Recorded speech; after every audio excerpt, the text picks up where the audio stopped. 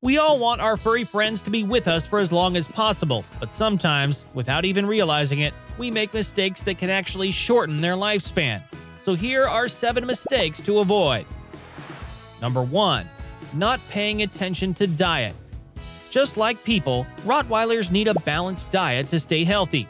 You might think giving your Rottie table scraps is a treat, but it can actually be pretty bad for them. Foods high in fat, sugar, or stuff that's just plain toxic to dogs, like chocolate or onions, can lead to all sorts of health issues.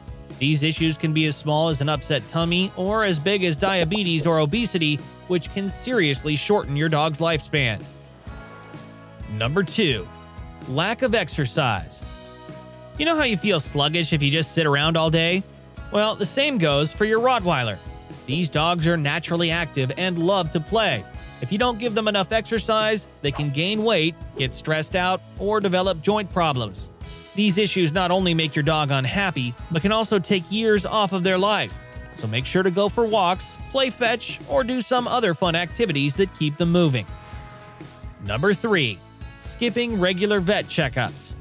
Regular vet visits are super important to catch any potential health problems early on. If you skip these, you might miss out on detecting issues like heart problems or cancer until it's too late to do much about it. Number 4. Ignoring dental health. Bad teeth can lead to bad breath, and that's just the start. Dental problems can also cause infections that might spread to other parts of the body like the heart or kidneys.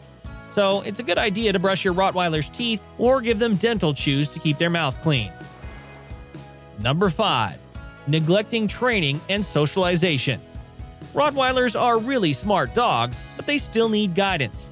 Training is not just about teaching them tricks, it's also about teaching them how to behave properly. Without proper training, they might develop bad habits that can be dangerous for them and for others. Socialization is also important. A dog that's not well socialized might be stressed out or aggressive, which is not only bad for their mental health, but can also lead to situations that are risky for their physical well being. Number 6. Overlooking grooming needs. You might think grooming is just about making your dog look pretty, but it's actually about a lot more than that. Regular grooming helps you check for signs of skin issues, ticks, or fleas, which can all lead to bigger health problems if not dealt with.